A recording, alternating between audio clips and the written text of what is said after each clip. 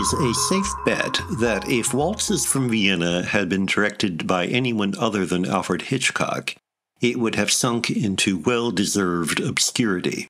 Still, as much as I dislike the adulation that accompanies any film by Hitchcock, I have to admit that without his guidance, Waltzes would be even more insufferable than it is.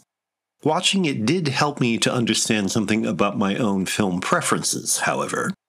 For the laborious efforts here to keep the plot contrivances and frothy atmosphere afloat had the beneficial effect of reminding me just how much I dislike suspense.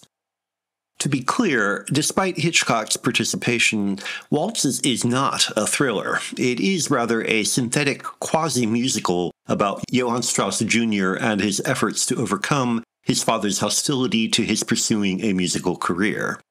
The suspense centers on whether Jr. will write The Blue Danube so that everyone can be wowed by his gifts and Senior can come to terms with his son's independence. The suspense, therefore, derives not from the imperiled situations familiar from Hitchcock thrillers, but from the effort to create conflict and its what happens next resolution. Such emotional manipulation is supposed to be central to the film experience, but to me, it often comes off as the equivalent of a poor magician distracting the spectator from low tricks.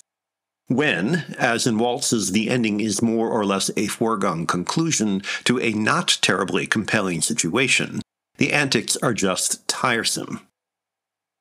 Perhaps Hitchcock overemphasized the aspects of a script closest to his interests, if so, his efforts are self defeating, for the best moments are the largely gratuitous technical frills around the edges. There's a clever sequence exploiting match cuts, for example, as the two women in Junior's life simultaneously, and unknown to each other, do their best to get the Blue Danube performed, and Hitchcock cuts back and forth between their actions. It's the kind of casual flourish that could only come from a filmmaker of Hitchcock's caliber. On the other hand, the film's big moment, the premiere of The Blue Danube, is rather disorganized and confusing and falls pretty flat. That confusion is not surprising. As the sequence in which all the plot threads are supposed to come together, it becomes glaringly apparent how fabricated the situation is and how little sense any of it makes. Worse still, because not all the threads are really tied up, the premiere isn't even the end of the film. Instead, there's a frenetic coda that feels like a failed attempt to turn waltzes into a bedroom farce. There is some perverse justification in that effort, since it never is clear whether Waltzes is meant to be a biopic, a romance, a musical, or a serious drama. Why not turn it into a farce, too? With a story this pasted together, Waltzes could be just about anything.